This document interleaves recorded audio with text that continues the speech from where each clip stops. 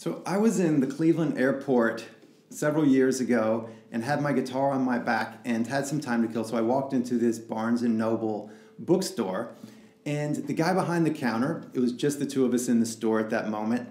And this big old guy, normally when people come in on my guitar, they say, Hey, play me something. But he said, Can I play you a song? And he got really excited. So I said, Well, absolutely. And I pulled it out. And he turned it upside down and played the guitar. So he just turned it upside down because he was left handed and started playing it and singing this soul music just at the top of his lungs. It was amazing. So much energy and, and passion in it. And he was just having such a good time just playing these chords upside down with left handed and singing these songs that he wrote and people started lining up to check out and he would just say just a minute just a minute and he kept on playing and it just it it was a hilarious uh, thing, and it was such a gift to hear somebody do that. But it was really odd to see somebody play left handed, but without any sort of change to the right handed guitar. He simply turned it upside down.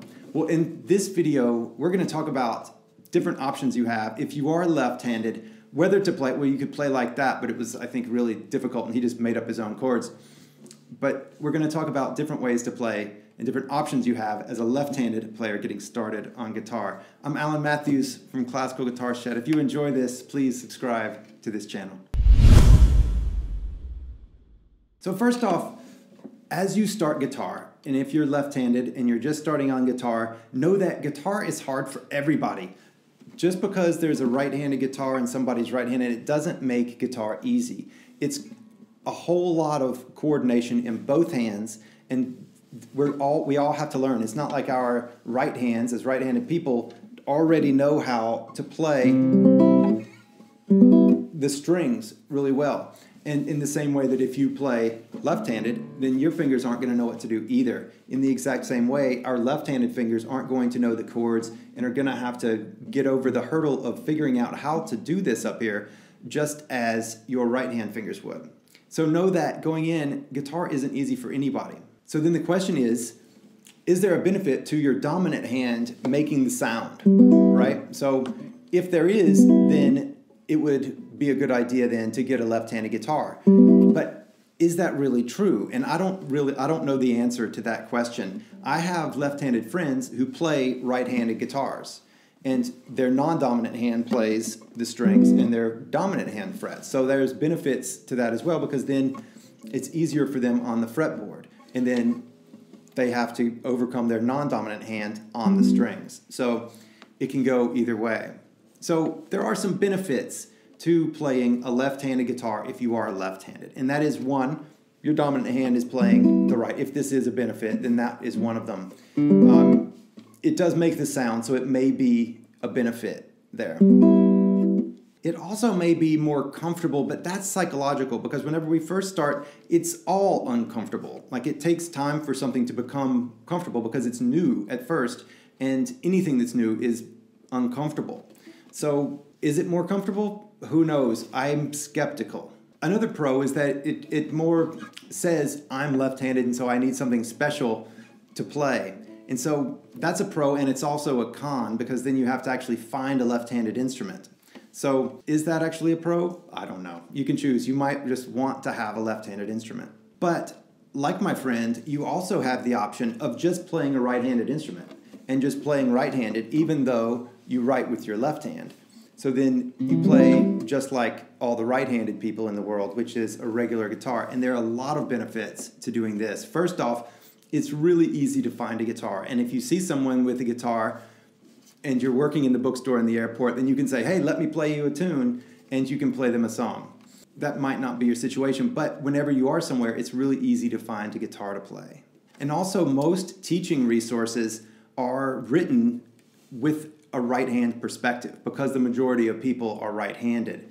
So then everything that you look at, if you choose to play left-handed, you're going to have to reverse in your mind. Whenever you listen to a video and somebody says now your right hand this, then you have to then translate that to mean my left hand this. So it's you have to do a whole lot of translation and transposition to make it make sense on your instrument. So if you just play a right-handed instrument, then you just erase all of that all of that complexity from it. So whenever whenever beginners come to me personally and say, "I'm left-handed, what do I do?" I typically say, pretend like you're pretend like it doesn't matter and just play a right-handed instrument the same way that that you would if you were right-handed and don't draw a, a line between that, right? So it's just like if whenever you were little you started writing with your other hand. I don't know the the things like that, but I'm assuming that if you had always done it that way, then you would learn how to play, you would learn how to write with your non-dominant hand. And I know that people do, people are ambidextrous when they practice being ambidextrous. So it could be that when you practice, when you first start practicing, if you start off on a right-handed instrument, then it just becomes what's normal, and it just it just is what it is. And so it could be a lot easier for you to get started instead of tracking down a left-handed instrument. But whichever you do, my recommendation is to just pick one and commit to it and just go for it and get to the real work of, of learning guitar. So I don't think it really matters one way or the other, so long as you just pick one and you just go with it.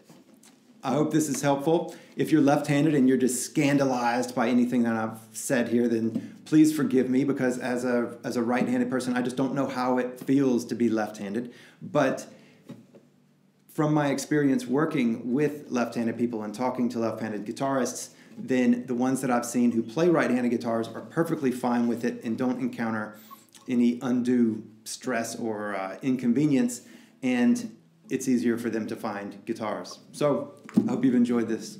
Please subscribe to this channel, and I'll see you soon. Bye bye.